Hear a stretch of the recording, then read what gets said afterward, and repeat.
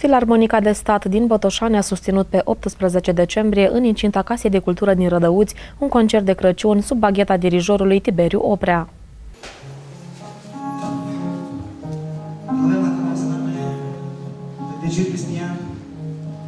manifolds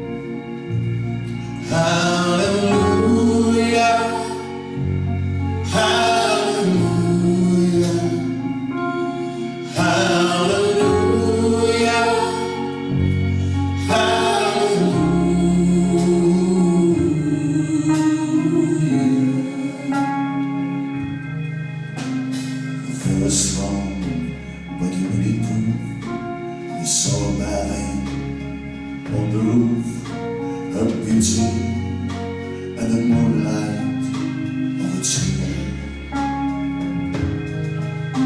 She tried it to her kitchen chair, she broke a drum and she got your hair from your lips. She drew a